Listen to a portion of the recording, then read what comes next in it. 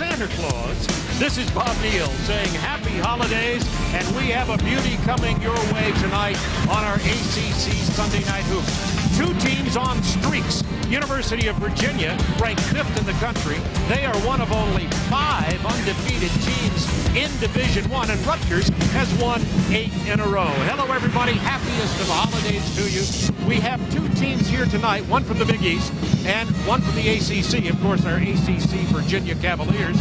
And they both have a part of their game that you really like, and that's called the inside-out game. Bob, you can't be one-dimensional in this day and age in college basketball, and each of these teams has threats both on the interior and on the perimeter. For the Scarlet Knights of Rutgers, we're talking about Mike Sherrod, the point guard on the outside, doesn't score a lot of points, but will be very important handling the Virginia pressure. And then Rashod Kent, they've got one of the top rebounders in the country, number one in the Big East, number six in the nation. Sherrod, again, averages less than 10 points a game, but he's going to be very important handling the ball. And on the other side, the Virginia Cavaliers, they've got a pretty solid inside-outside combination. Roger Mason Jr. can not only play the piano, he can play point guard a little bit too. And Travis Watson, one of the best centers in the ACC. You can see 25 career double-doubles. Roger Mason, the leading scorer on the team, an outstanding three-point shooter who can also drive to the basket. Well, the man roaming the sidelines, as usual, our colleague, Dwayne Ballen, he of the intriguing stories, is with tonight's guest analyst. Dwayne. Bob, we are joined by the most celebrated player in the history of the Virginia basketball program, Ralph Sampson, a three-time National Player of the Year, two-time winner of the Wooden Award. He's a beloved figure here. They could not wait to see him get him to sign autographs when he walked into the building. He led them to a Final Four, all-time ACC rankings in a number of categories, and the number 50, which he wore, is retired and hangs in the rafters here at University Hall. Welcome to ACC Sunday Night Hoops. Thank you very much. Glad to be here. This group of Cavaliers comes in ranked number five in the country. When you were here, that was a regular occurrence. What should these young men expect with that ranking? Well, they have to expect to go out every night and play with intensity because everybody's going to be wanting to beat them to death because they're ranked number five. But we'll see how long that lasts because ACC time is right around the corner. Bob, he's a legendary figure here. A moment ago, an usher told me this has been and always will be Ralph's house. Dwayne, you should have seen, and I know you did see, the long line of people getting autographs from Ralph Sampson. It's time for our Lexus game plan. What do you see, Dan? I think it's very important for Rutgers to play at a pace with which they're comfortable, a pleasing pace for Gary Waters. They don't want to run up and down with Virginia. They also have to produce. They've got to be able to score effectively. For Virginia, they've got to play with that high level of energy that Ralph was talking about, and they've got to emphasize efficiency. They turned it over 25. They turned it over 25 times the other night. They cannot afford to do that tonight. Well, Roger Mason, the point guard you just met playing the piano, is one of the best in the country. Kevin Frazier in our ACC Sunday Night Hoop studio. You've seen a lot of him. I know you like him.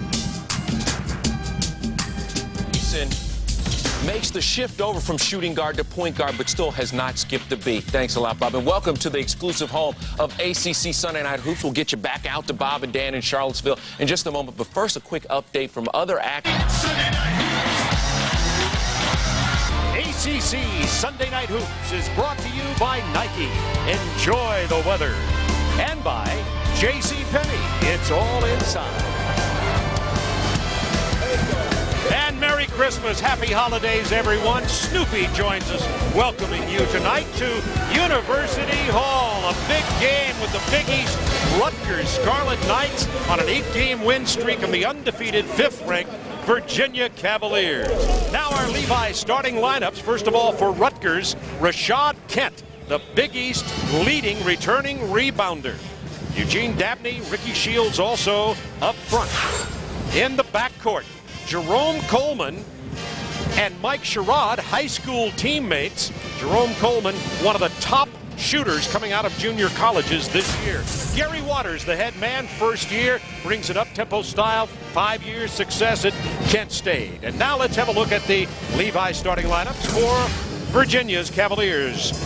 Roger Mason, the point guard, of course, in the back, Travis Watson, second leading rebounder in the ACC at 10 a game. Chris Williams, fifth in scoring at 17. And at the point, Roger Mason, second leading scorer, also in the ACC at 19. Adam Hall, their defensive stopper. And Pete Gillen, fourth year at Virginia, going for career win 500 tonight. He's got a 62% win percentage here at the University of Virginia. There's Roger Mason as we're ready for the tip ball. Sellout crowd at University Hall. Both these teams will get a better reading on how good they really are. Virginia got a test on Thursday night as they defeated Georgetown in the John Thompson Classic. Rutgers is definitely wondering if they're as good as their 8-2 record and their 8-game win streak indicates. And Gary Waters said a fine performance tonight will really help him initiate his program and plan for changing and improving basketball at Rutgers University. Rutgers in red, Virginia in white, along with Dan Bonner, Dwayne Ballen, and our special guest, Ralph Sampson. This is Bob Neal, and we are underway from University Hall. And Rutgers starts in the man-to-man -man defense, very aggressive pressure on the ball. Travis Watson, defensive pressure on him. He misses the jumper, and back number three is Mike Sherrod, the point guard. Number two, Ricky Shields has it knocked out of bounds. Chris Williams got his hands on the ball. Virginia starts in the man-to-man -man as well. And Bob Travis Watson on that last play for Virginia tried to force it inside. I think Rutgers actually blocked it. And the Scarlet Knights blocked 15 shots in their last outing against UMBC. Sherrod trying to beat Mason off the dribble, penetrates. Ricky Shields trying to get it inside the post. Rashod Kent, Shields and drives. Kent with the rebound and the putback. You'll be seeing a lot of that tonight from number 44. He's 6'6", 275. Playing with a little bit of a tender foot. We'll keep an eye on that. Lost out of bounds. Virginia turnover. Scarlet Knights ball. I mentioned Virginia turned it over 25 times against Georgetown. The Cavaliers obviously wanting to go right at Kent, but Kent pretty good defensive play. You see Mike Sherrod, they call him the press breaker to Jerome Coleman over in the corner, his high school teammate, who hits it from the corner, and that's a triple. Well, you cannot relax against Virginia. They'll take the ball out and they'll run it right up the court, and Rutgers trying to come right back against this pressure. Eugene Dabney passes it to Shields, back to Sherrod. When Virginia presses, if Rutgers beats the double team, they've got to go find the shooters, and Coleman is certainly their first priority. They missed him the last time. Virginia hoop from Cam uh, from uh, Williams. He, Chris Williams, he is fifth in the ACC, scoring 17 points a game. And this year, his field goal percentage at 63%. Had a kick ball, reset the shot clock. Virginia did a nice job defending that inbound play. Rutgers really wants to get the ball to Coleman for a shot. Inside, that foul before the basket. And it's actually Offensive. against Kent. Yeah, for hooking and getting inside. I thought his position was pretty good. Rashod Kent at generously, I think, listed at six feet six, an outstanding inside player. As the pass goes inside, he has pushed Adam Hall out of the way, and that's why he's so wide open in there. Roger Mason always trying him left. He's right-hand dominant, pulls up, goes for three, misses it. Kept alive nicely by Adam Hall. However, Rutgers will get the ball. We talked before the game about the energy level, and it appears to me as we start the game, a little bit more bounce in the step of the Scarlet Knights and the Cavaliers. Virginia a little bit slow getting started. Yeah, Virginia with a very intense game against Georgetown. You wondered if they might be a little flat tonight. Foul before the shot, wave off the basket. Uh, Sherrod, number three in red, really a great penetrator, has very, very good quickness. It's going to be a tough defensive matchup for Roger Mason, and Sherrod drew the foul there. Mason's first personal. 5-2. Rutgers out to the lead. Rutgers on an eight-game win streak after losing their first two. Rutgers, North Central New Jersey, New Brunswick. Sherrod on the drive. Little floater. He has a funny, funny looking, as in unusual, uh, shot. Look that out, and you'll see it obviously as this game go on, goes on. That's a great ball, job. Nice save. Look at Kent gets it ahead. Sherrod is fouled hard. We mentioned that Sherrod is an extremely quick player, and it's his quickness that gets him past Roger Mason. Watch as he comes down. He beats Mason out on the perimeter. Three Cavaliers surround him, but he's still able to get the ball up over top.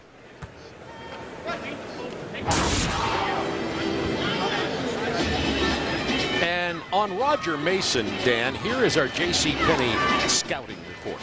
Roger Mason, just picked up one foul and then he was beaten, is a guy that has great athleticism and he really uses that very effectively both on the offensive and defensive end. He knows what's going on out on the court.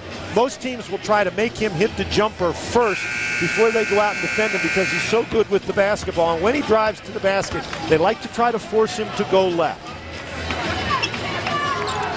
His problem right at the moment is figuring out how to stay in front of Sherrod. Sherrod goes to the free throw line. He is a 56% free throw shooter. This team, Rutgers, shoots free throws at only 58%. as Sherrod misses that. Our special guest tonight, Ralph Sampson. Ralph, uh, talk to us a little bit about uh, trying to handle from a defensive standpoint inside somebody like Roger Mason who penetrates so well. Uh, he penetrates. He's uh, really good at going both ways, and he has a nose for the ball. So trying to stop him, you got to kind of limit his uh, successes going his uh, strongest point, which is going to his right. All right, Ralph, we'll be talking with you, of course, throughout the game. The drive punched away from Adam Hall. Rutgers back with it. That's the third Virginia turnover. It's 7-2 Rutgers. And in games where the Cavaliers have struggled, they've had a lot of turnovers. Can't afford them. Eugene Dabney misses the baseline jumper. We have the foul on Jerome Coleman, and it'll go the other way and be turned over to Cavaliers. Rebounding is not always about height. A lot of times it's about aggressiveness and who can be the quickest to the ball. And Coleman that time was not the quickest to the ball, which is why he picked up the foul. Rutgers stays in the man-to-man, and Virginia has really had problems getting the ball inside. Now there is Mason's penetration. He tries to dump it off inside to Adam Hall. Notice that the big man inside, Travis Watson, has had only one touch so far. Of course, Virginia makes it a priority to try to get some touches out of Watson. Williams on the penetration, splits the defense, dumps it off inside.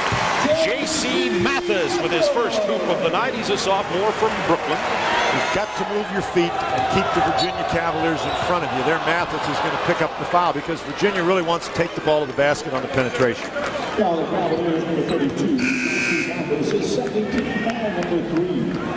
That's the second on Mathis, by the way. And Chris Williams just takes the ball down in the lane, beats two guys, then comes right up against the third one. So he's actually made three guys guard him. They've all missed him, and that leaves his teammate Mathis open under the basket.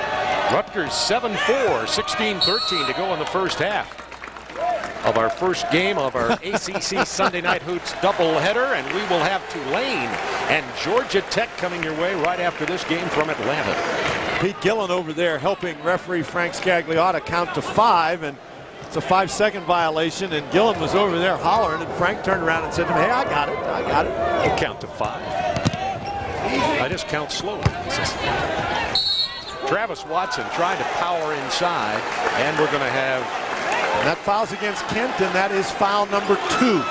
And that's going to be a problem for Kent. One of the problems with a man 6'6", playing somebody 6'9", 6'10", uh, Watson at 6'9", is he has to use his body. Glenn Watson is very good at using his body. So Virginia trying to put the ball in Watson's hands to put that pressure on Kent. Hall pulls up from the baseline. There's Kent with the rebound. Look how high Rashod Kent. Now remember, he weighs 275 pounds, but he can still sky. And I think Kent just picked up his third personal foul. Yes, he did. Oh, my. Oh, he's going to have to go to the bench, no doubt.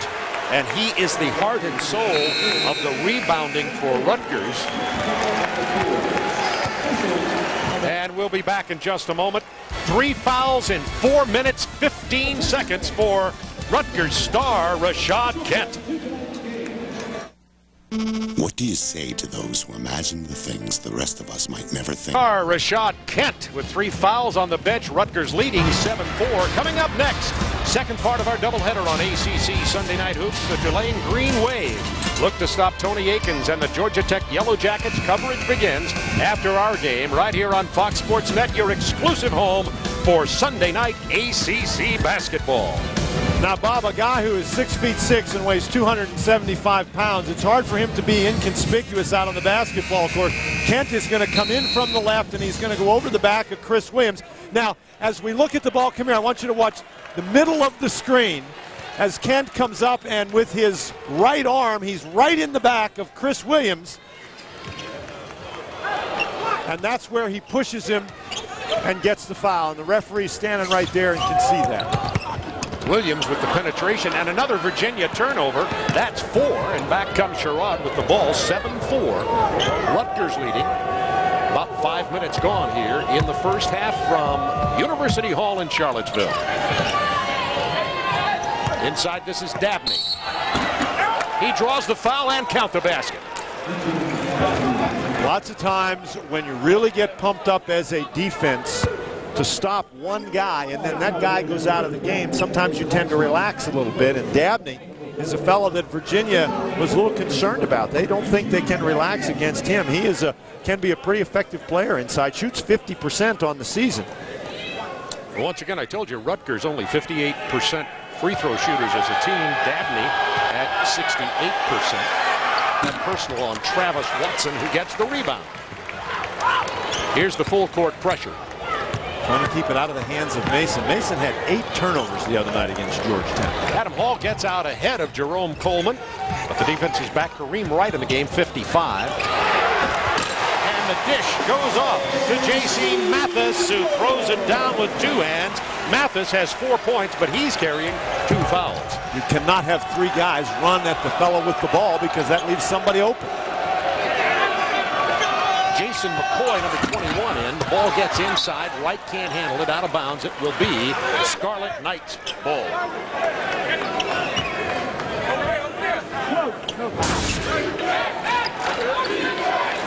As Roger Mason drives to the basket, you can see three Scarlet Knights cover him. Nobody picks up Mathis, and Kareem Wright was the guy who stepped to Roger Mason, and somebody's got to rotate down and pick up his man. Kareem Wright's a big one, 6'9", 285, but he does not have the quick feet of Rashod Kent, so the open might be vulnerable. The long three attempt by Jerome Coleman missed. McCoy back up with it. He gets it inside, and Eugene Dabney throws it down. Nice job by Dabney to get position inside. Dabney, not 275 pounds. He did a nice job getting position against Adam Hall. Hall once again beat Sherrod on the drive, missed the shot, and Travis Watson is there to follow with his first basket of the game. 11-8 Rutgers. Sherrod answers very quickly, dishes beautifully to his high school teammate, Jerome Coleman. You can't sit back on your laurels in this game just because you score a basket. You better get back and guard somebody. 13-8 Rutgers, 13-42 to go first half from Charlottesville. Here's Hall penetrating again, and he traveled before he rammed into Kareem Wright. Virginia crowd doesn't like that very much. That's five Virginia turnovers. And Virginia is going to ask for and receive a timeout. Pete Gillen talked to his troops. They've only been able to score eight points in uh, the first six and a half minutes of this game. And remember, Virginia is second in the conference in scoring at nearly 84 a game. Duke, of course, at nearly 90. But at this rate, Virginia having a little trouble throwing the ball in the hoop. 13:38 to go in the first half. It's a sellout crowd here this holiday season. A lot of the Virginia students are home for the holidays, but there are also a lot of them here in their orange shirts, along with the Charlottesville area supporters of the Cavaliers. And let's go to Dwayne Ballen. Bob, Mike Sherrod and Coleman, as you mentioned, are very good friends. In fact, Sherrod was instrumental in the recruitment of Coleman to come to Rutgers. Gary Waters said that Sherrod's friendship with him made a big difference. In fact, he's the only player Coleman is that this new staff, which came in April, has recruited. They played together in Brooklyn at Paul Robeson High School. Robeson, of course, was another distinguished alum of Rutgers University. But then again, you gentlemen knew that. we knew it because you tell us. You know it all. We'll be back to you often, frequently in the game, along with our special guest, Ralph Sampson, as Sherrod turns it over to Chris Williams. The bounce pass to Watson on the wing, and Virginia has pulled within three. That was a great trap by Chris Williams. And Hervé Lamizana just checked in, the freshman. It turned over. Harper drives. It's now a one-point game. Well, the Pete Gillen timeout proved to be effective. A couple of substitutions, some intense pressure, and it's now Rutgers 13-12. This is what Pete Gillen brings to Virginia, that pressure and the trap. Four points in 10 seconds from the Cavs. Now, right here, as he turns his back, Chris Williams comes up and gets him. And so Williams is able to is able to knock the ball away and then get down to the other end of the court. But the key there is the offensive player turns his back, does not see the trap coming. And that's exactly and the exact same thing happens on the next play. Watch right here. We get a turn of the back, and then the offense, the defensive player comes when the offensive player cannot see him. You don't dribble the ball to the side and turn your back, Bob. Hervé Lamizana wears number one. He's the freshman who, this is his only his third game for Rutgers. He is number one. You see the fast break points. That's how Virginia's gotten back in here. Ricky Shields with the ball. He's trapped over on the sidelines, and he steps out of bounds. I think they actually called an offensive foul against him, player control foul. Yes, they did. Ricky Shields picks up his first personal on the player control. There's uh, sitting down is J.C. Mathis. You were just looking at Hervé Lamizana. He is from the Ivory Coast in Africa. Played at St. Patrick's High School in New Jersey. Set out last year. He was a non-qualifier academically and missed the first eight games this year for Rutgers, but he is a terrific young freshman. Well, Virginia's just turned it over for the sixth time, and Rutgers has gotten themselves in a little trouble because they turned it over three times within 25 seconds, Bob. Now Keith Jennifer, number 10 in. He's the freshman point guard back up for Mason as Mason switches over. It's harder to set the trap when you're coming and the guy dribbling the ball can see you. A lot of substitutions already in this game. Here's that penetration for Sherrod. He misses it. Dabney's there for the rebound. He's fouled, doesn't get the roll. And that's two fouls against Travis Watson. And once again, we see the kind of damage that that quick penetration can do. The defense comes to pick up the guy, penetrate to the basket, and then nobody rotates down to block out.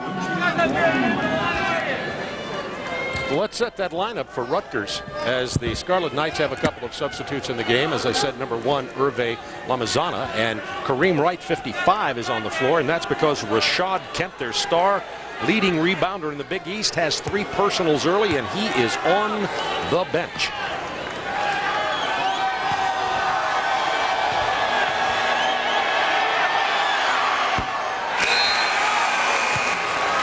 And Elton Brown is into the game for the Virginia Cavaliers. Roger Mason comes back on the court, and Travis Watson will sit down.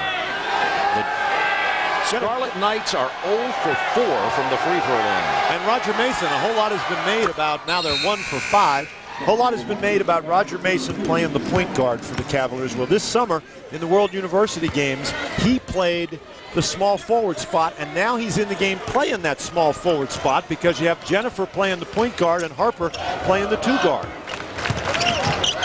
Elton Brown up and under. Beautiful move from Elton Brown. He's the 6'8 freshman from Newport News. They call him, Roger Mason says he's a beast inside. He also has some talent, as you see. Lamizana Man-to-man for Virginia. Axani has also checked into the lineup. He wears number 32 for the Scarlet Knights with the ball now. He'll try the left-handed perimeter shot. That's a two. This is Sean Axani. He's a 6'7 sophomore from Red Bank, New Jersey. Jennifer with the penetration. He turns it over. That is the seventh Virginia give up tonight. Coleman misses from point blank range. Williams rebounding. Mason gets in the paint. And that's two fouls against Mason. He'll be called for the charge. We have a 16-14 Rutgers lead. Eugene Dabney with five points early in this game. Number five is Dabney with the two-hounded throwdown. And this is Harper for the Cavaliers. Rutgers by two. Santa Claus, yes, wearing glasses. Remember, he can still see if you're naughty or nice. Saturday on Fox Sports Net, college basketball takes center stage with a Big Ten versus Pac-10 battle. 17th ranked Michigan State Spartans take on 13th ranked Stanford Cardinal. Coverage begins at 10:30 Eastern, 7:30 Pacific, right here on Fox Sports Net. Virginia in the pressure, but they drop back now into the half-court defense. It's man-to-man. Mason matched up inside against Lamizana. Coleman with the penetration finger roll, and Jerome Coleman puts it down. He has seven, 19-14, make it 18-14. Rutgers with 11 minutes to go, nearing the halfway point of the first half here in Charlottesville. And Rutgers drops into a 3-2 zone. Now, a lot of teams have used zone in the past against Virginia because Virginia not noted for its outside shooting ability.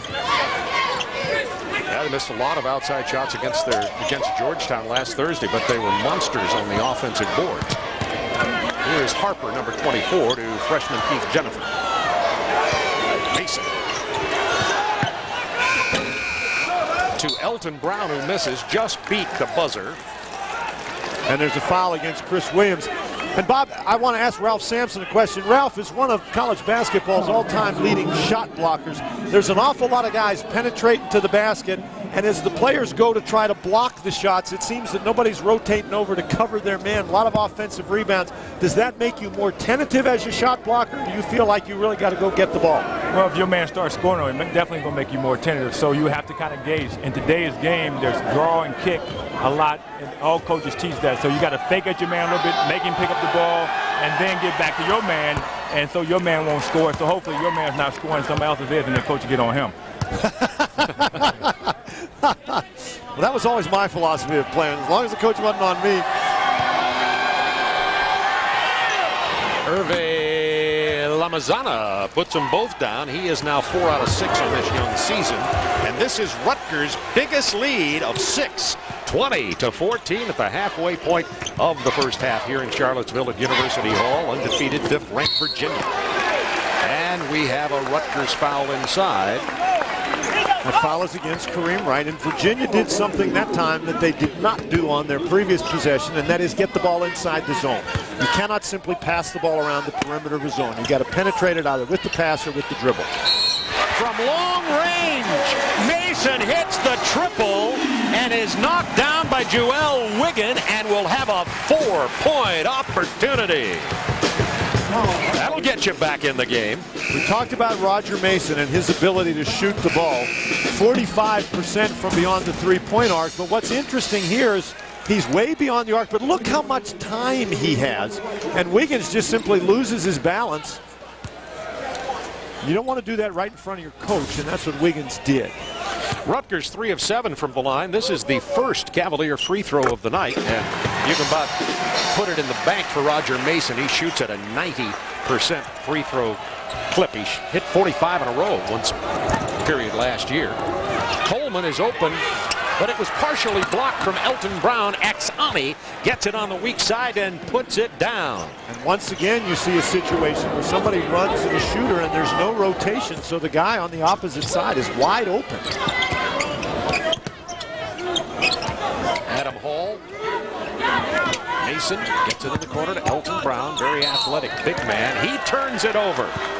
Virginia giving it up regularly. Nine turnovers here halfway through the first half. Elton Brown goes and runs at the shooter, and Brown actually gets a hand on the ball, and it is an air ball. And so, but you see, nobody's in front of Axani. Roger Mason did not get dropped down quickly enough, and Adam Hall didn't either. And so Axani picks it up, scores the easy basket.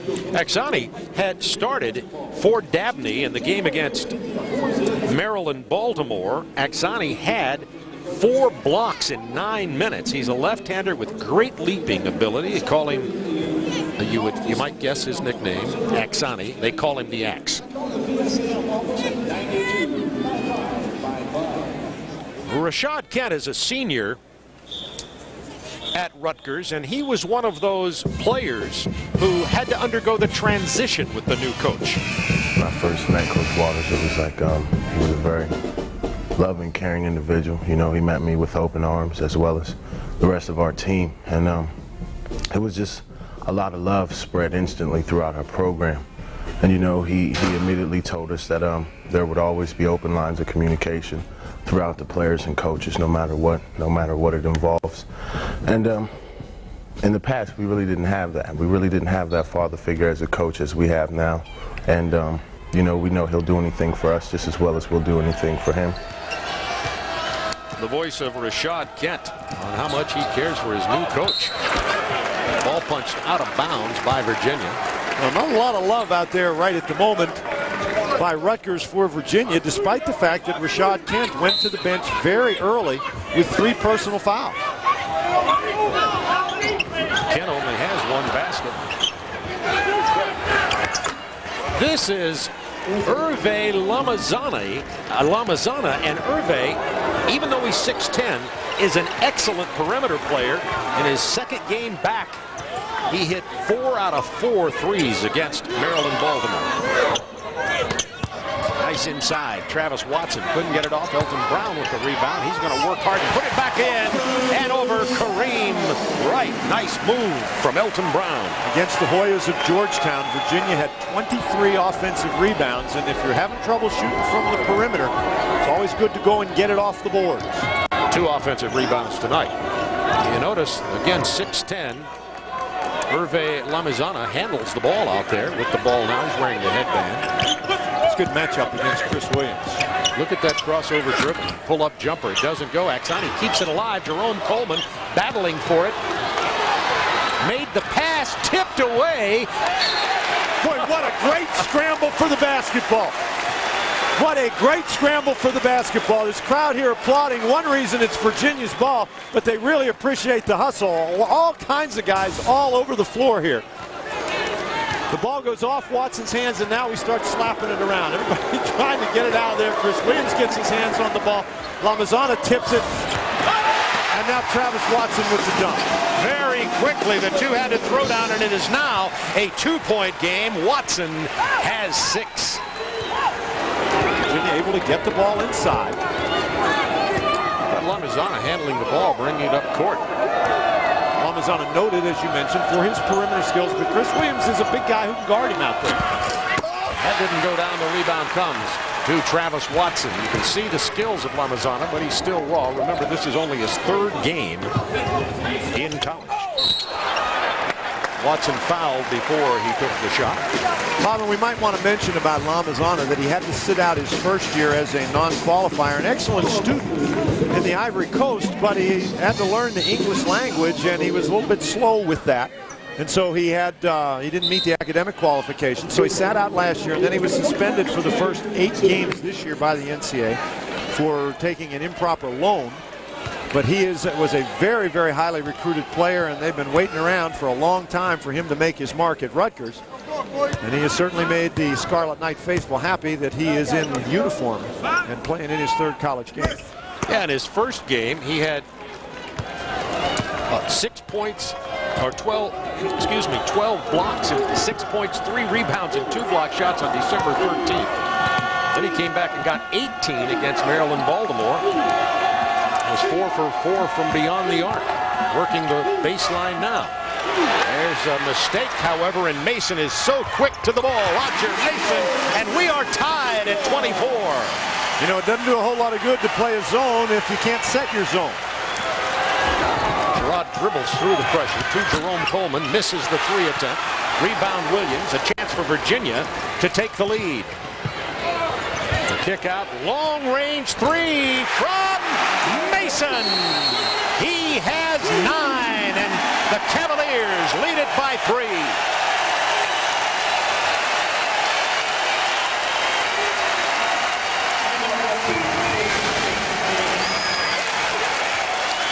That's the first Virginia lead, and it comes on a nine to nothing scoring binge. Bob, and this is this is Virginia basketball the way they want to play it. Transition basketball that leads to easy baskets. First, the steal. Roger Mason just chases down the bad pass by the Scarlet Knights and then makes a nice play to finish that basket. Transition basketball requires good finishers. Roger Mason certainly can do that. Then Chris Williams draws a crowd. Nobody there for Mason. That's what Ralph Sampson was talking about before. Penetration and kicking the ball out. Mason with about a 22-footer on that shot. And Bob, UVA on a 9-0 run. And it got pretty loud in here despite the fact that the students aren't here. And Ralph, this place, University Hall, really can get loud. Well, the, the shape of the building, it definitely can get loud, and the fans here have been waiting for this to happen, so that they should be excited here pretty quickly here. Virginia comes away with it. Travis Watson out to Mason. Had Elton Brown in front. He's going to lob it instead to Adam Hall. And University Hall goes wacko.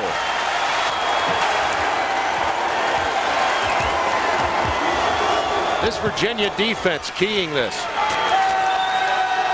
The game has become very, very quickly paced, and that's in favor of the Cavaliers. There is the long-range talent of Hervé Lamizana. He has now seven off the bench. It's always good when you can bring a off the bench that can give you that kind of an offensive spark. Watson with the drive and the dish, looking like a point guard. Got it to Elton Brown, who couldn't finish. Lamizana with the rebound to Sherrod. And Sherrod wants to slow it down just a little bit. And that was Adam Hall reaching in, fouling from behind. 6.02 to go in the first half. 29-27, Virginia. They were down by as many as six. They have come back to take the lead after a 9-0 run. Boy, Sherrod does a great job changing pace, walking the ball up the court, sort of lulling Adam Hall to sleep, and then just exploding past. Sherrod at the free throw line. Axani will sit down. And back into the game for Rutgers comes Jason McCoy. He too a freshman from Milby High School in Houston, Texas. And you got a chance to see Elton Brown sitting on the bench shaking his head. And he's shaking his head because when you get the ball two feet from the basket and you're 6'8", weigh 260 pounds, you got to put it in the goal. Sherrod continues the free throw shooting by Rutgers. Told you they're only shooting 58% on the year. Three for eight here tonight. J.C. Mathis also back in. This is Harper on the drive. He's double teamed on the baseline. Hall has it tipped loose after the drive. Watson with the save to Watson.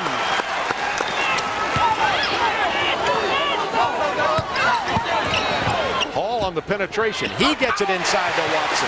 So Mathis saved it, got it to Watson, then a nice penetration move, and it's a four-point UVA lead, and Watson has eight points and six rebounds. Comes in with 25 career double-doubles, and he's certainly well on his way hitting number 26. Gerard trying to penetrate. Doesn't get the roll, but Watson with the rebound. That was nice defense by Harper on the penetration. Harper handled that himself. Nobody had to come to help, so nobody was open. Mason gets airborne, dumps it down inside to J.C. Mathis. He goes up and left-handed banks it off, and it is 33-27. And Virginia has built a six-point lead. McCoy out in front. It's stripped away, but Dabney was there. They may consider an assist on that. Watson knocked it away. Virginia a little slow getting back on defense. A defensive assist. Don't want those defensive assists.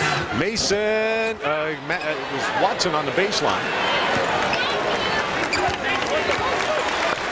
4.27 to go in the half. Virginia backs it out, leading 33-29. Rutgers in the man-to-man.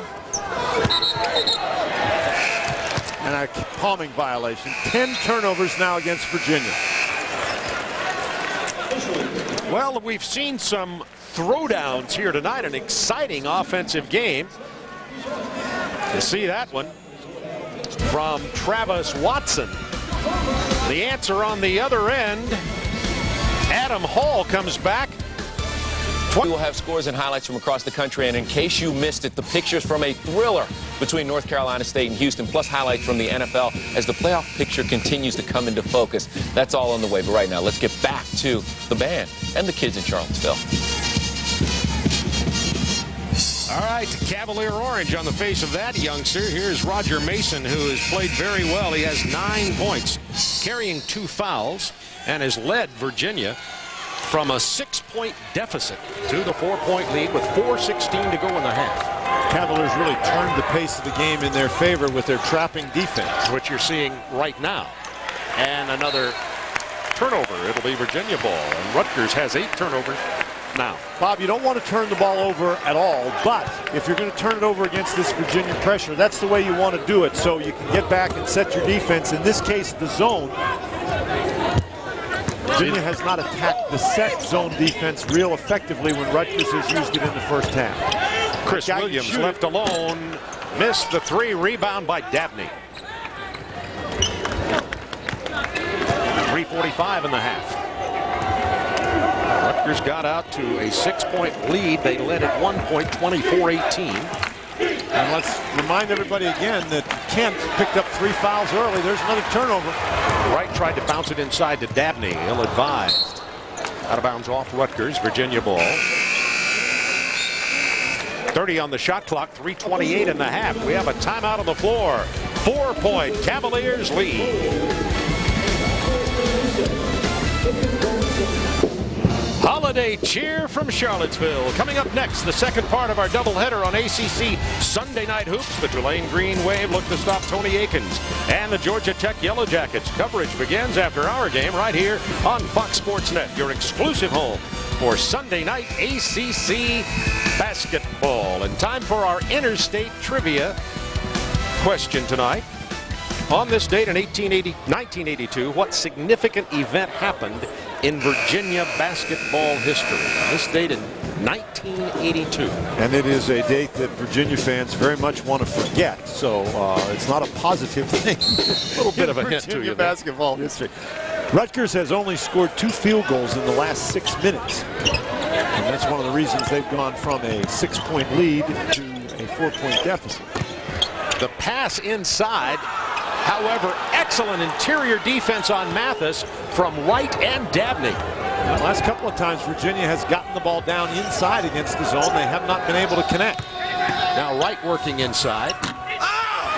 Too hard off the bank. Remember Rashod Kent, the Rutgers star, has only played four minutes and 15 seconds of this half. Wright gets the rebound. And Elton Brown pushed him down. Don't be pushing anybody down, Elton.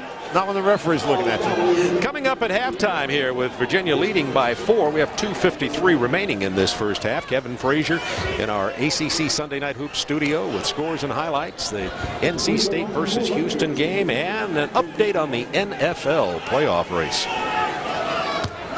The areas where Rutgers has hurt themselves this evening has been from the free throw line. Three of eight from the line.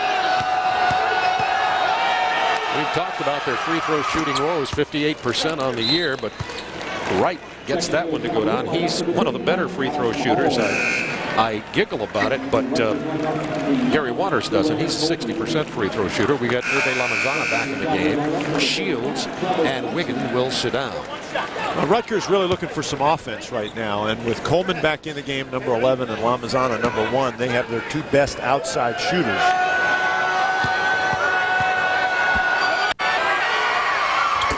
Wright gets them both. And a two-point Virginia lead with 2.52 to go in the half.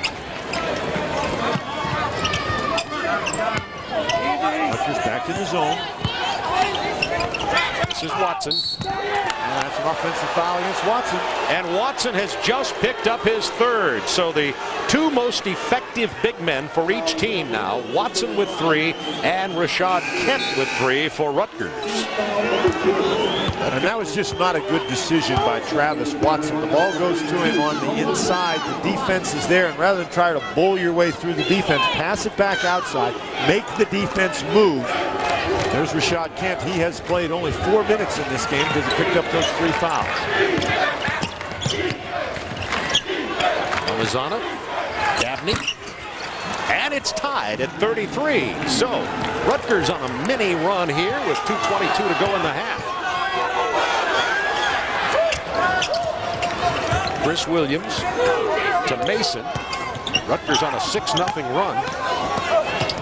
Ball batted around inside, picked up by Adam Hall. From long range, Roger Mason. He has nine. Now, that's one way to get the ball into the zone and then out. You usually don't want the other team to bat it around for you. But whatever works. Sherrod to Coleman with the penetration. He got all the way inside. Nobody stopped him. Remember, Travis Watson sitting on the bench, and Coleman has nine. And Virginia once again turns it over. Roger Mason trying to be aggressive. That's the kind of a turnover that when you play the style Virginia likes to play, you're going to get some of those. 12 turnovers now for Virginia. Rutgers has a chance to take the lead. And a man for the Cavaliers. Minute 30 to go in the half. This is Mike Sherrod. Mike Sherrod, also a player inherited by Gary Waters, but Gary Waters said he talked to Rashod Kent first and then Sherrod to try to sell them on his system, and they've bought into it. Here is Lamizana with the three. Remember, last game he went four out of four from beyond the arc, and now Rutgers has taken a two-point lead. Once again, Sherrod's penetration creating an opening. Got to find the shooters. Under two, under a minute. Mason gave up the shot. Nearly another turnover.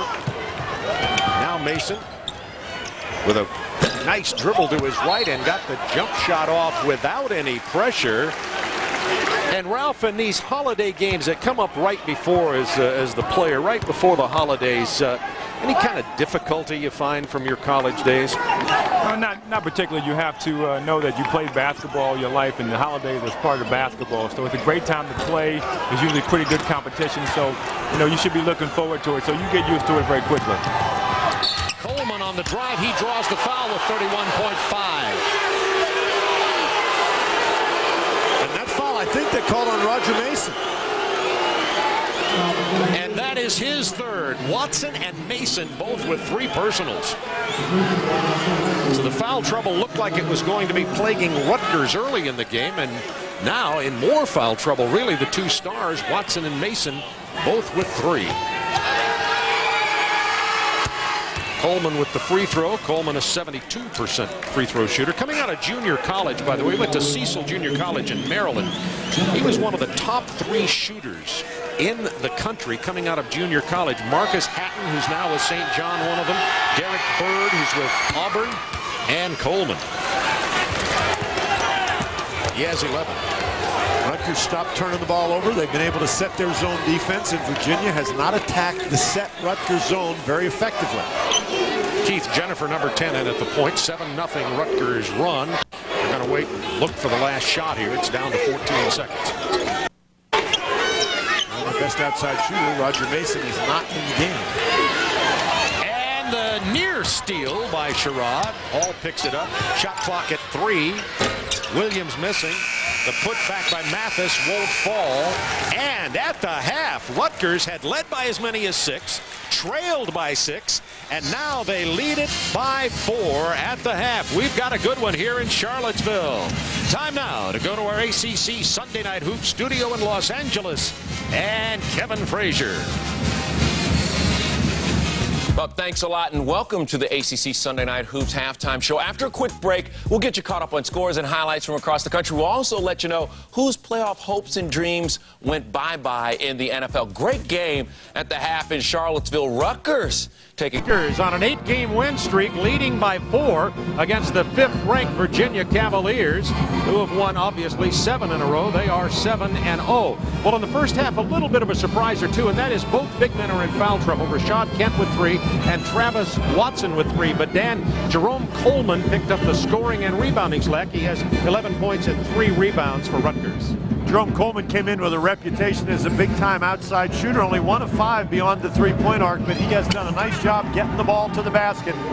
Roger Mason has really done a nice job for the Virginia Cavaliers. Mason mainly from the outside. He's knocked down three three-point shots for his 12 points. And as we look at the accurate shot by shot, the red dots indicating field goals made. Roger Mason with those three beyond the arc, another layup. Roger Mason's got to find more ways to score. And we'll be back in just a moment, moments away from the second half tip. About uh, 70 miles away from Richmond in central Virginia. It's time for our Pep Boys halftime stats. Field goal percentage very good, but you look at the turnover numbers for Virginia. 12 turnovers resulting in 15 Rutgers point. Rutgers also getting some production from the bench that the Cavaliers have lacked, and that was very important for Rutgers in the first half with Kent in foul trouble early. This is Ricky Shields with the ball for Rutgers, leading by four, a near steal. And we're going to have a foul. It's going to be called on Adam Hall. And that is that's a good call by the official, and it's not a very good play by Adam Hall. You want to hustle after the ball. You can't fault the hustle, but you have got to play smart basketball, and that's just a giveaway right there. Sherrod over in the corner to Shields for three. It's a seven-point Rutgers lead. And Shields did not take a shot in the first half. Mathis with the penetration to Hall. Inside, punched away. Another Virginia turnover. Jerome Coleman comes up with the ball. Bob, you've heard the expression, let the game come to you, and the Cavaliers haven't really done that for the last, last four or five minutes of the first half and here to start the second half, really trying to force things, and Rutgers making it look easy right now. Coleman splits the defense, and Ralph, during your times here at Virginia, I know you didn't experience very much, but how much does this home court help when you're trailing at the half? Well, I think the home court is going to help out a little bit, but, you know, Virginia played uh, Georgetown earlier in the week, and I think it was a big game for them, and I think it's showing a little bit in this game because they're really not ready to play right now. And they come out the second half very like, a days ago, and Rutgers was ready to play. The Knights on a 12-0 carryover run, leading 45-36. Less than a minute gone in the second half. 45-36. Rutgers leading the fifth-ranked Virginia Cavaliers. Dwayne Ballen on our side. Dwayne, you talked to both coaches at the half. Bob, it probably will not surprise you and Dan to know that Gary Waters, despite leading, is not happy. He says that Virginia with 36 points is on pace to score in the 70s. Rutgers likes to keep the game down in the 50s. He's not happy about that. And Pete Gillen told his Cavaliers they were not being very aggressive at all, and they're playing passive against the press and against the uh, zone. Also, both coaches are concerned about foul trouble in the second half. Remember, both big men, Travis Watson and Rashod Kent, are carrying three fouls. Kent, of course, for Rutgers. Mason with the penetration and the dish to J.C. Mathis. The ability to penetrate inside the zone is going to be very important for the Cavaliers in the second half. There's that Virginia pressure resulting in another Rutgers turnover, and Virginia turns it right back, and Adam Hall again. Goodness. Hall with the lay-in for the Cavaliers. Well, you remember, this is how Virginia cut into a six-point lead in the first half with pressure defense. Got the crowd back in it. Virginia was down nine. Their biggest deficit of the ball game tipped out of bounds by Virginia. Whether against the man-to-man -man or the zone, penetration can really be effective. Kent's got to be careful. He gets out of Mason's way. Dabney comes over. Nobody is there to get J.C. Mathis, and so he gets the easy one. Sherrod with the penetration. Williams right in his face. Shields with hustle gets it back. Shields misses the three. Rebound Williams. Ahead to Watson. And he draws the foul. It's going to be on Jerome Coleman. Glenn, that is a very, very dangerous play. Travis Watson in transition against one of the guards. Coleman wasn't really able to get in position to try to draw the charge, which would have been Watson's fourth personal foul. Instead, he picks up the foul. Don't you know Jerome was saying, I, I take the charge, I take the charge. Yes, I got to do it. It's Watson. Well, maybe I'll just strip the ball away. Now, Watson weighs 255 pounds. I think discretion certainly the better part of valor right there, although he did not want to commit the foul. Virginia only two trips to the free throw line in the first half. By the way, Watson only one of two Virginia players in history to have 500 plus rebounds in their first two years. And Ralph Sampson, can you name me who the other player was? I don't know. I think it was Dan Bonner. That's 500 fouls, Ralph. Oh, okay. I'm sorry. I'm sorry. I'm sorry. No, you know, he's a big guy. He can rebound for sure, and he's doing a good job. So it's um, good to see him do that. Now ball movement to Hall on the drive. Chris Williams. Watson inside. Kent had to stay away from him. Rebound Hall is blocked by Lamizana. Well, that is a great catch by Travis Watson, and then a great rebound by Adam Hall. But Rutgers, we mentioned they blocked 15 shots against University of Maryland, Baltimore County, and they get an important one right there. Roger Mason open for just a flash. He misses. Watson back. He misses the follow by J.C. Mathis, who has 10. Virginia trailed by nine. They've now pulled within two. For the Cavaliers. Coleman initiating play. To Dabney. Nearly stolen by Hall, who came around behind. Inside. And Rashod Kent is fouled. That's a big part of Rutgers' game is to get it to the big man inside, the space heater. And they've been able to do that because Kent only played four minutes and change in the first half.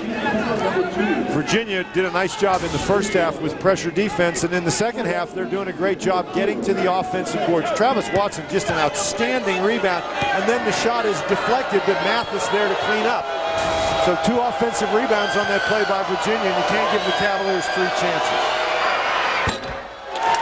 Rashod Kent, we've just been harping on the Rutgers free throw shooting, but it is a part of the story. Kent only 39% from the line. You see the offensive board score. Misses them both. Rebound Mason. And that means if you've got a foul to give in there, that it's not a bad thing to foul Kent if he looks like he's going to get the basket. Looks like he has good form. The block by Lamizana. Then he altered the shot. Rashod got it. It was deflected. This is Coleman. This is a frenzied ball game. Sherrod inside, nowhere to go with it. He nearly turned it over. Adam Hall stepped in it. This is intense, Dan. Ralph, what about the style of play here? The very physical Big East, the ACC. What do you think? What do you see in this game tonight? Well, I mean, you got a lot of talent on the court. They like to drive, penetrate, draw, and kick. And Virginia's not doing it well because of the uh, offensive and defensive zone that uh, Rutgers is playing sometimes. But the intensity is getting ready to pick up a little bit because of the second half. Look at Lamizana, the freshman, steals the rebound. Coleman missing it. Out of bound. It's going to belong to Rutgers. We talked about the fact that Virginia had to play with a very high level of energy. And over the last couple of minutes, it seems that they've really raised their level of intensity. They missed that rebound, but boy, you got a lot of guys going after it. University Hall with the noise here showing you why it's tough to play here. We have a whistle, going to have the call. Chris Williams going to pick up the foul. Yeah, go against Virginia, and Chris Williams just picked up his third personal. So Watson, Williams, and Mason all carrying three for Virginia. And a new shot clock for Rutgers. man defense for Virginia. Penetrates and kicks. The entry pass not well done by Coleman. Tried to get it to Lamizana. The 12th Rutgers turnover, and Virginia can tie or better with a three-point play on this possession. Man-to-man for Rutgers.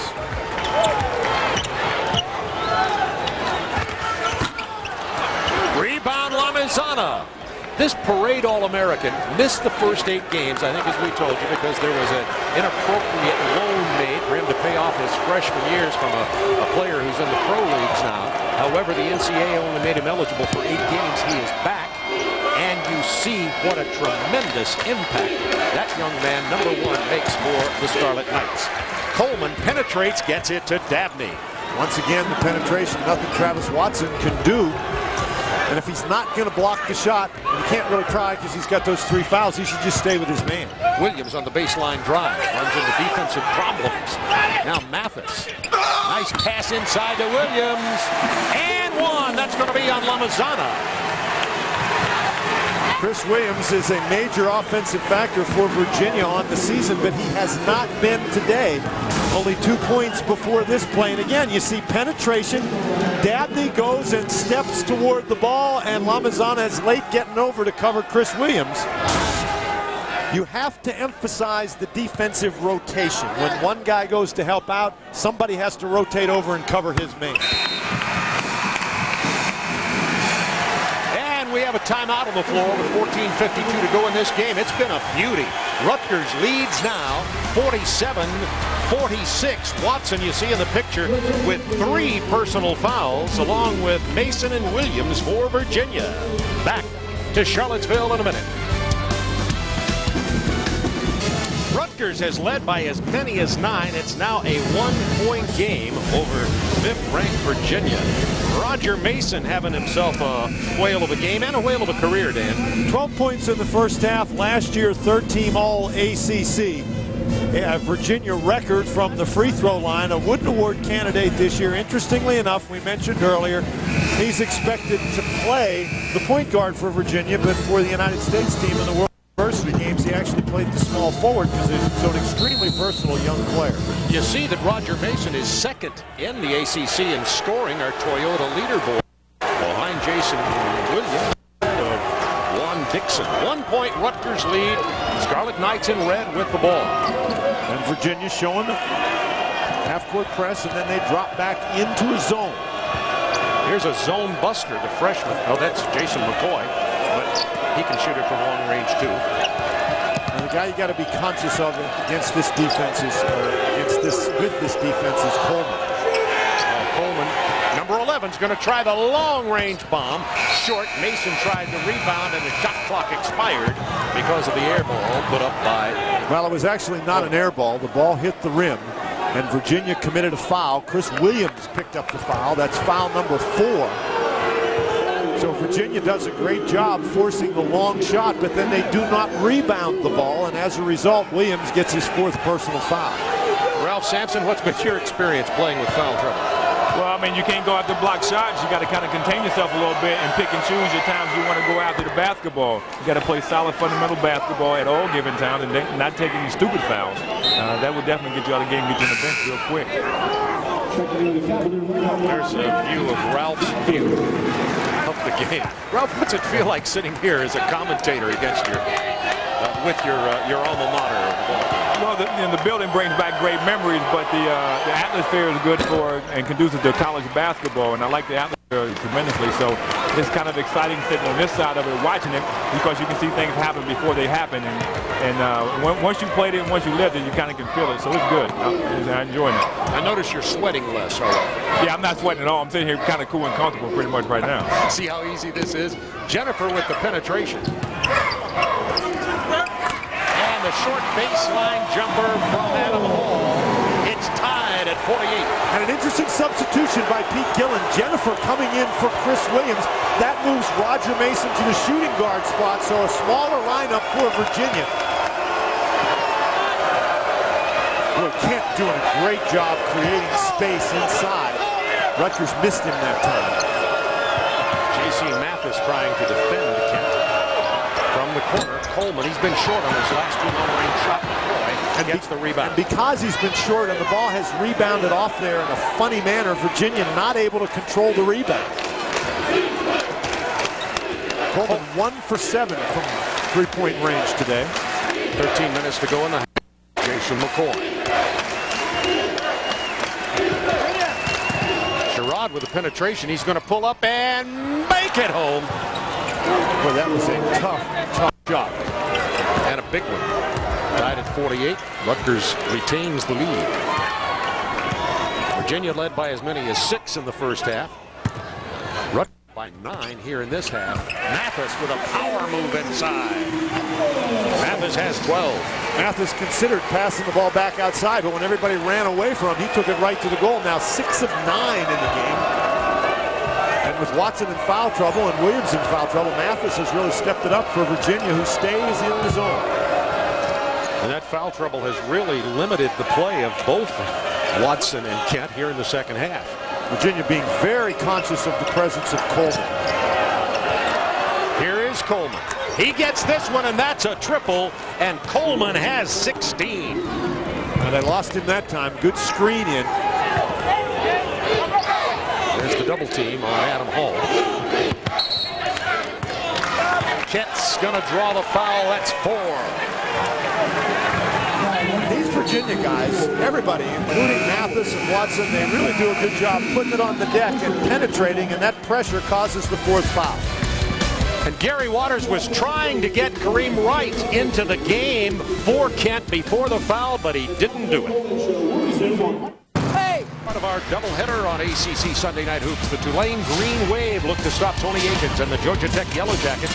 Coverage begins after our game right here on Fox Sports Net, your exclusive home for Sunday night ACC basketball. And our Interstate Batteries trivia question, Dan, on this date in 82. What significant event in Virginia basketball history and Well, of course, the greatest upset in the history of college basketball. NAIA Chaminade defeats the number one ranked Virginia Cavaliers and Mr. Ralph Sampson. I was there. I wasn't feeling too well, but I was there. People have to understand we played Georgetown a couple days before that. Then we went over and played in, in Tokyo, and we played uh, Louisville and Houston, and came back to, uh, to uh, Hawaii and played and wasn't ready to play. And Roger Mason with the three ties it at 53. Roger has 15 and he's four out of six from beyond the arc. And Virginia now showing that pressure and dropping back into the zone. And keep in mind that when Chris Williams picked up his fourth foul, Jenifer came in and occupied the point guard spot. And Roger Mason went to the shooting guard. Here is McCoy on the baseline.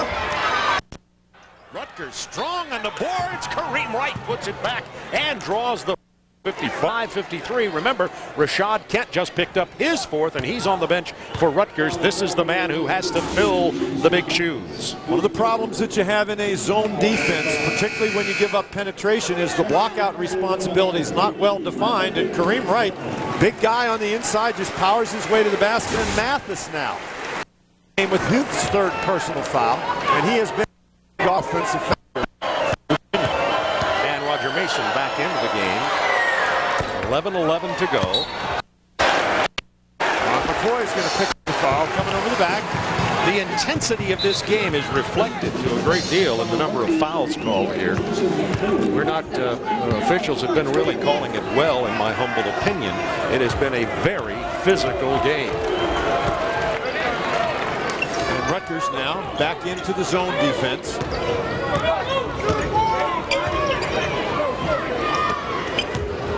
Brown with a one-touch bounce pass to Watson. He drives and draws the foul. Nice ball movement, good interior passing, particularly from the freshman Elton Brown, number 42. And Wright just picked up his third personal for Rutgers. So the foul's piling up for everybody. And Travis Watson taking a risk there, but this is a guy who attacks the basket. Travis has nine in the game. Make it 10. Well, he had eight very early in the game, then picked up those fouls and had to go to the bench. And when you're playing in foul trouble, you have to be a little bit more passive. Yeah, the last two years in the ACC, Travis Watson has been the shortest starting center in the ACC.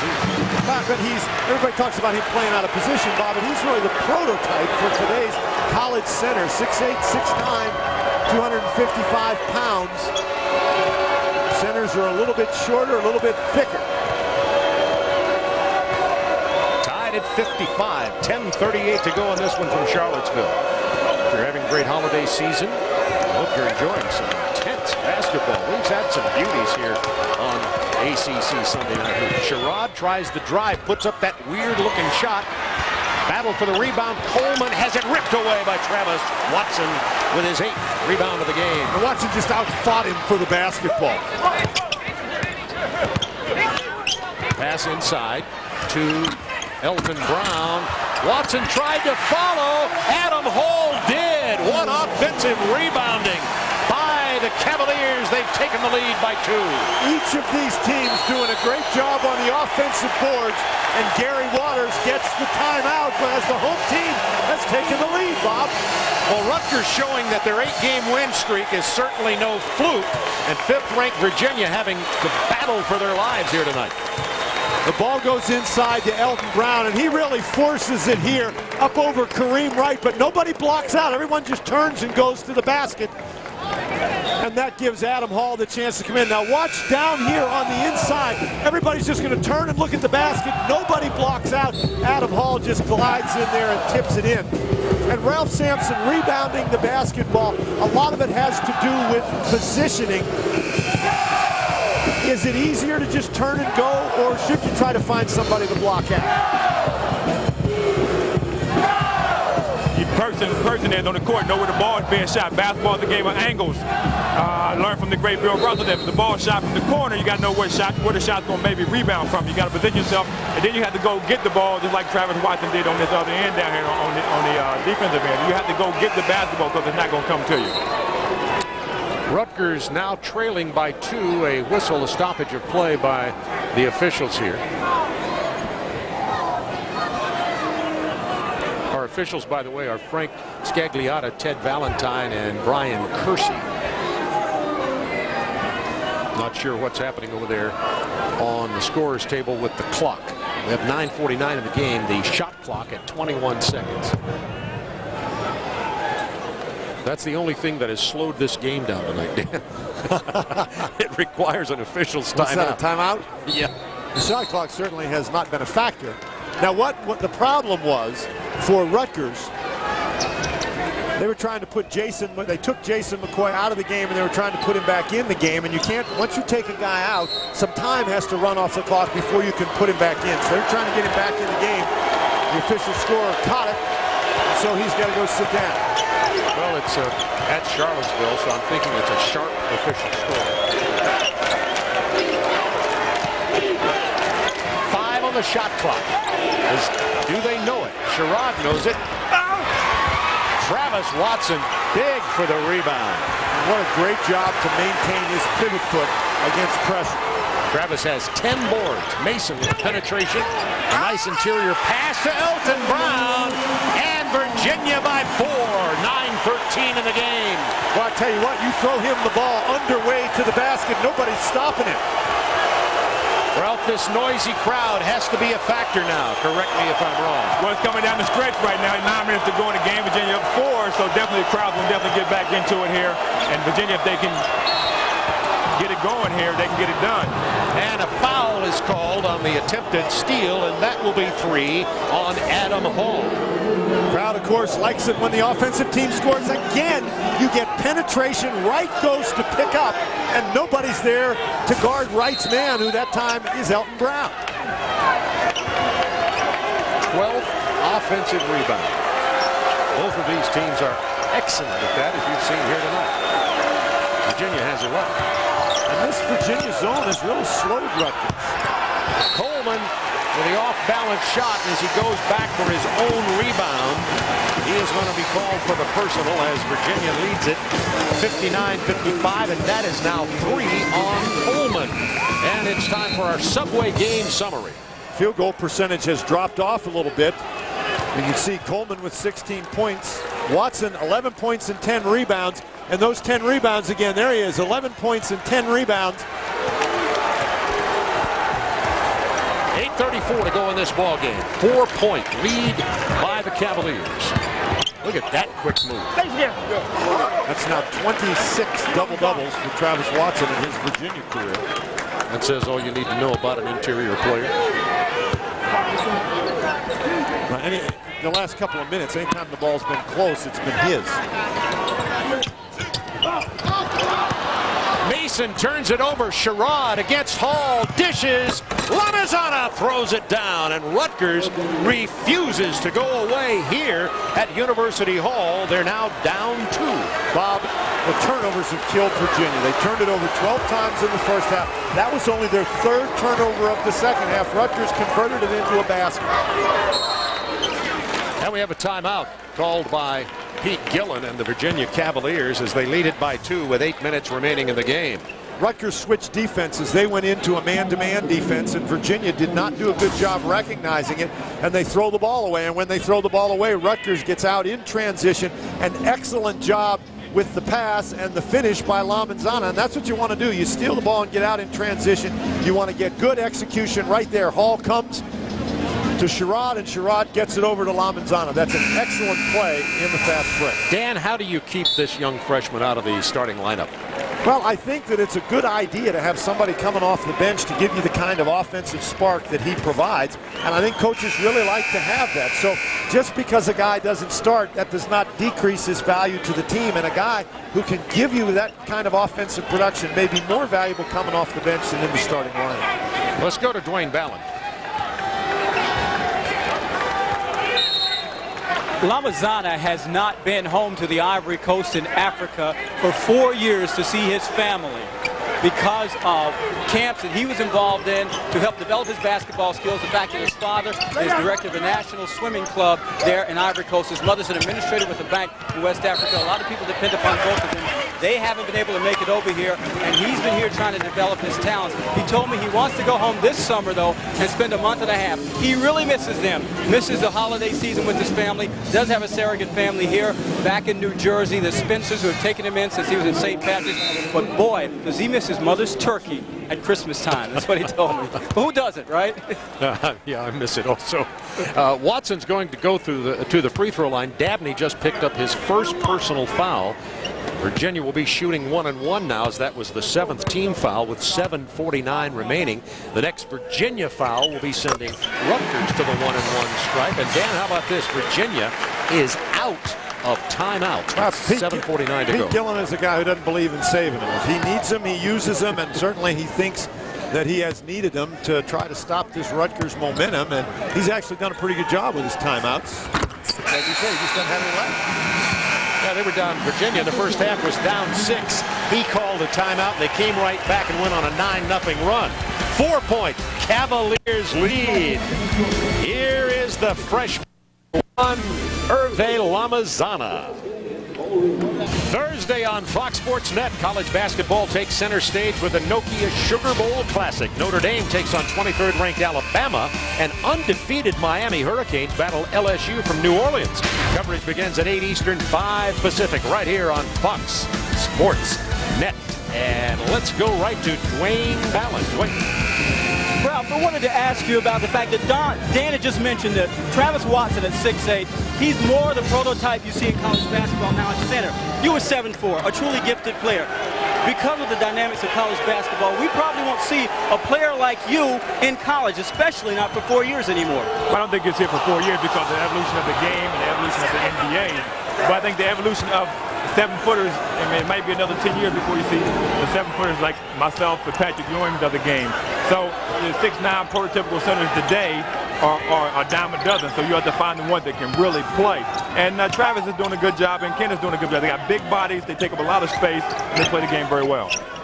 How would you play against these guys? Uh, Your size, their size. But it- it- they have, uh, uh, they would have more strength than I would, and they have a lower center of gravity. So I would spin, and I would have Jeff Jones, the one of my guards, throw a lob up, and I go get it. Well, Ricky Shields had just scored for Rutgers, bringing it to a two-point game. Lamizana with the steal, and the Knights with a chance to tie. It's going to be Rutgers ball, 19 on their shot clock. Bob and Virginia continues they've done a much better job in the second half, but in stretches when they turn it over, Rutgers has been able to take advantage, and the turnovers really hurting the Virginia Cavaliers. Yeah, Lamizana missed on the last possession, and it was Ricky Shields who followed up with the putback. It probably should be just the opposite. And the roll goes in by Sherrod. The Virginia fans want an offensive goaltending call. None is coming. We are tied at 61. Pete Gillen in the bench thought Axani hit the ball while it was on the rim.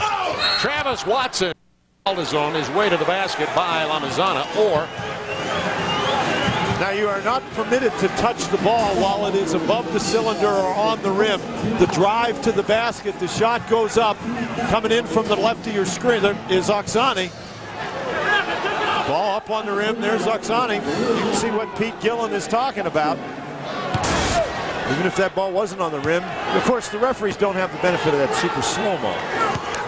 And by the way, you're looking at Axani. Uh, the foul was charged to Kareem Wright, which is his fourth. Well, now, an unfortunate development for Rutgers as he uh, Wright goes out and Rashod Kent, who has played only 12 minutes in this game, comes back onto the court. He averages over 30 minutes a game.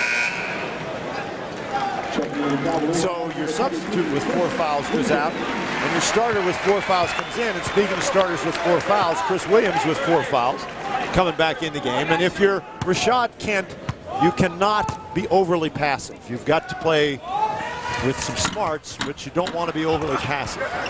Axani, who's an excellent leaper, got that rebound off the Travis Watson miss. He is now six of nine. Watson from the free throw line. Sherrod breaks the pressure and dribbles right past Mason. That's going to be an offensive foul on Rashod Kent. An illegal screen.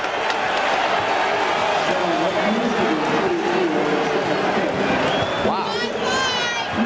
And Kent is, that's the classic, what, me look?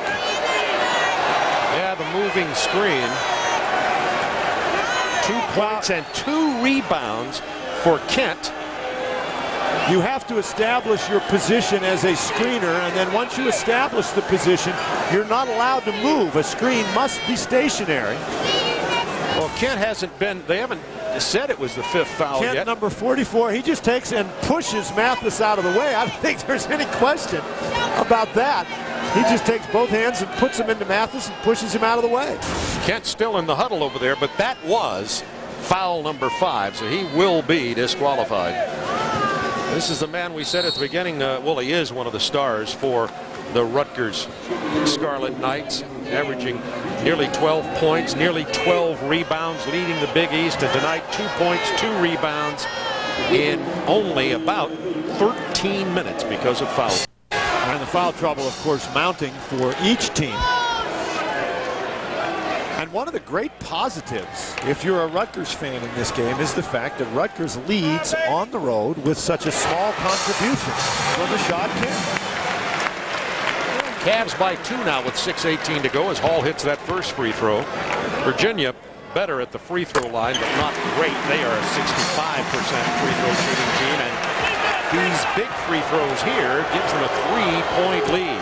But Virginia's done a much better job getting to the line in the second.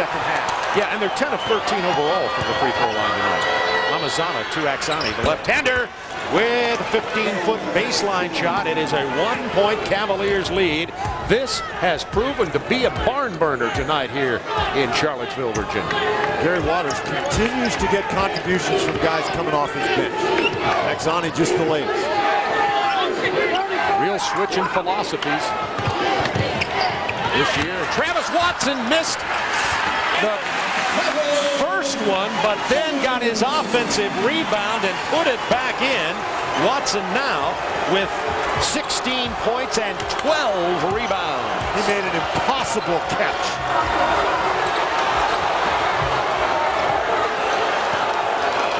Three-point Cavaliers lead.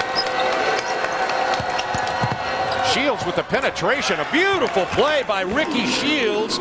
Unheralded somewhat in this game, though he's been very effective. He's a 6'4 freshman from Upper Marlboro, Maryland. 40-inch vertical leap. You just saw some of that right there. Chris Williams leans inside. Dabney with the rebound. Rutgers can take the lead. Chris Williams continues to struggle. Only two field goals in the game. Virginia stays in the zone. Shields with the penetration. Back to Sherrod. Comes up short. Rebound Shields. He's blocked inside. This is Adam Hall. Misses the jam. Oh, baby. And Rutgers gets another opportunity to take the lead.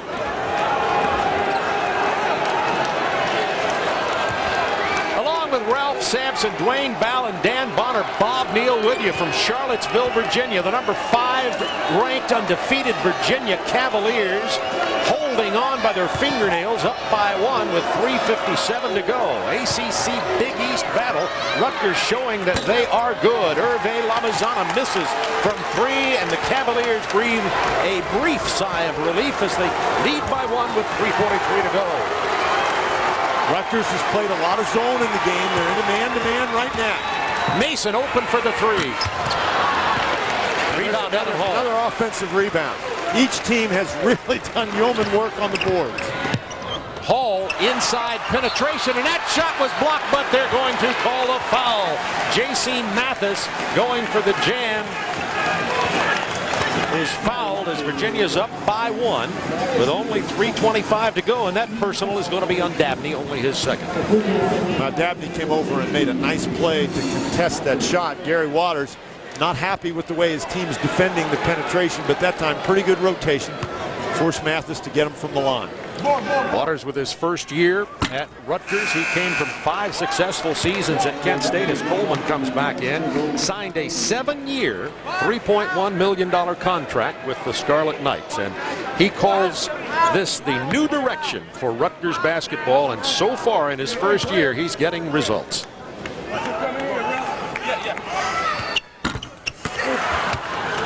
Gets the rebound off the missed free throw, and Virginia continues to lead by only one. That's a great job hustled by Dabney. He fouls a 52% free throw shooter, and Mathis misses them both. Lamizana tried to pass it inside, passed up the shot, looked for Axani, and that's the 15th Rutgers turnover, and Gary Waters is upset at Hervé Lamizana, who kind of hesitated before he went back into the huddle over there. Adam Hall missing the dunk. He missed one against Georgetown. Nets are cooking up some hot holiday dishes. When Jason Kidd in New Jersey heat up the hardwood against Andre Miller and the Cavs. The Nets visit Cleveland Wednesday at 7 on MSG. Coming up next, the second part of our doubleheader on ACC Sunday Night Hoops. Tulane Green Wave look to stop Tony Akins and the Georgia Tech Yellow Jackets. Coverage begins after a game right here on Fox Sports Net, your exclusive home for Sunday night ACC basketball. And Georgia Tech star, one of the greatest, maybe it's arguably the greatest player in Georgia Tech history, Mark Price will be our special guest. You take a look at the game reset here.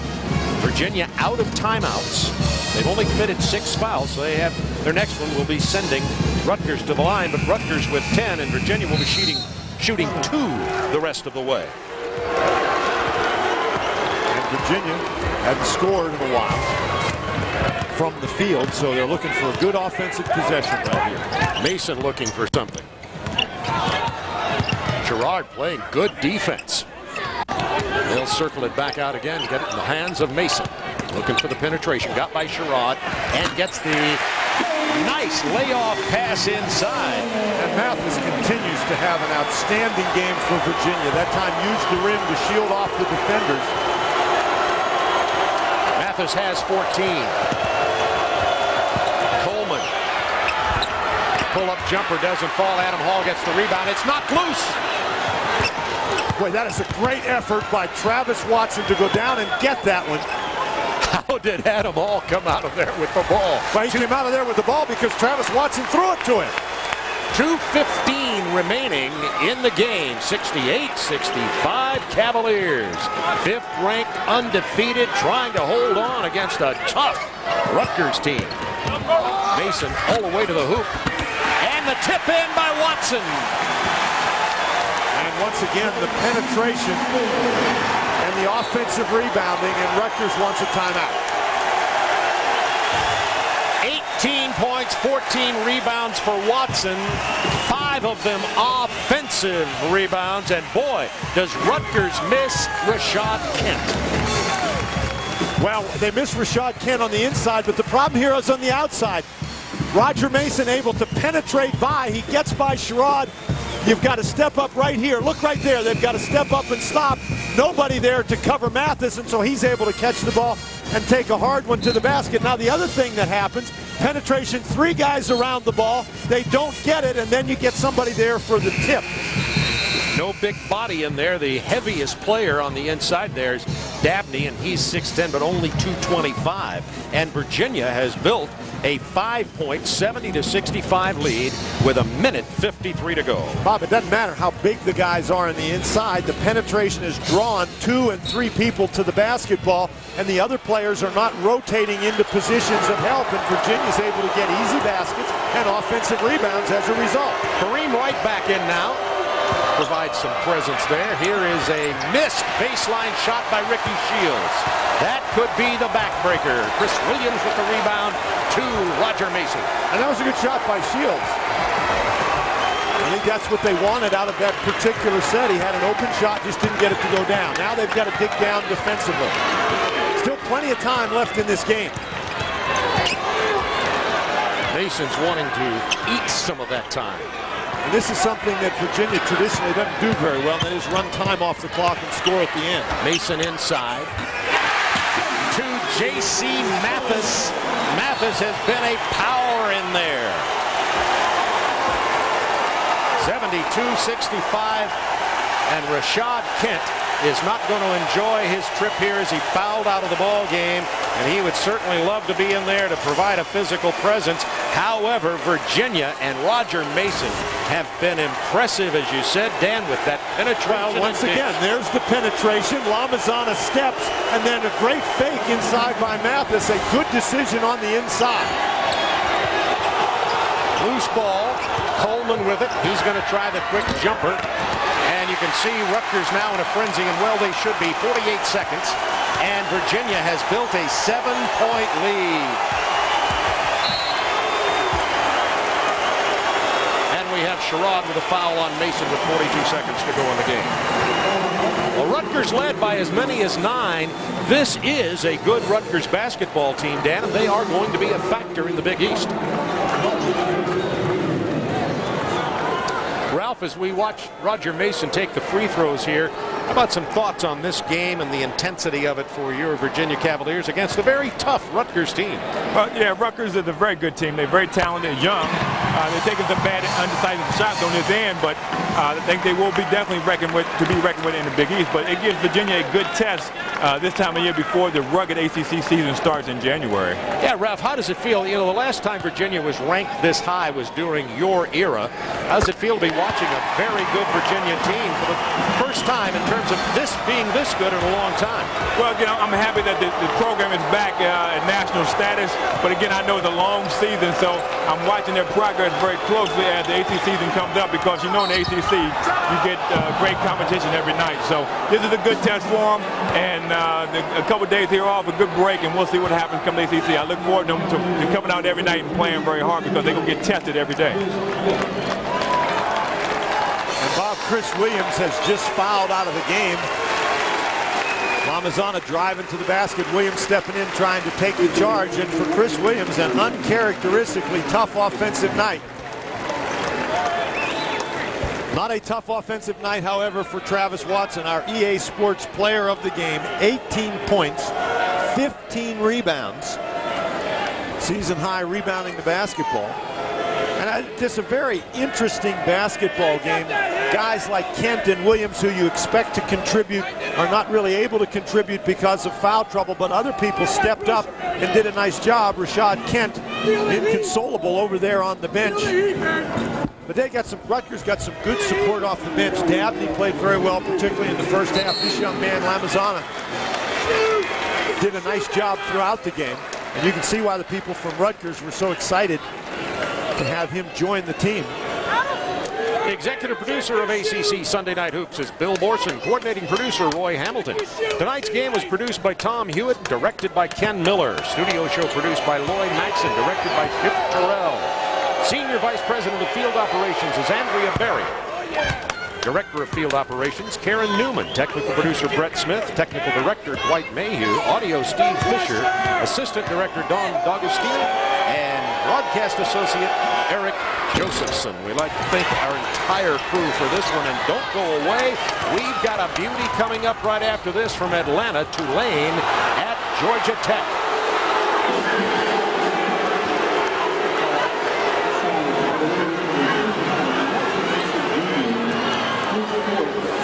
Well, Virginia building some tradition here, uh, building some uh, some more tradition, I should say, with Roger Mason's great play. We look at those great names there, Ralph.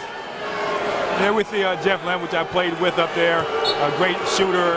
Uh, we had a lot of guys on that team, the Craig Browsons, uh, Ken Elands, Othell Wilson, Ricky Stokes, that played a part in all that uh, uh, numbers up in that uh, rafter there. So all the players that played with me, they know who they are. Uh, they contributed to the Virginia basketball program over the years. So I look forward, and I actually saw some of those guys up in uh, uh, Washington, D.C. when we played Georgetown over the, over the weekend. So it's always good to come back, always good to see a lot of the guys.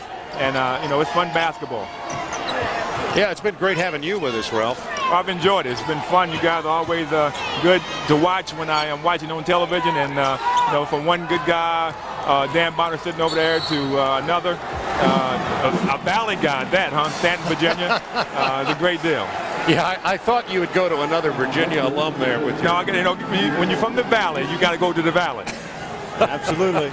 Ralph, a native, of course, of Harrisonburg, Virginia.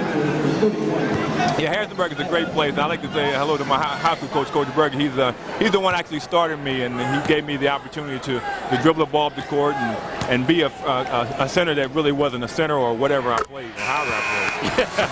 uh, your talent, you could almost play the three position, Ralph, at 7'4". Uh, once again, uh, give us just a quick update on where you're going with your career now. I hear coaching talk all over the place. Well, I would love to coach. I'm doing some great things in Atlanta, Georgia right now. I have a six-foot foot four girl that I'm training named uh, Krista Watson. She's being recruited by every major college in the country. Uh, so I, I, like the coaching game. I like the college or professional ranks. So I look forward to doing that in the very near future.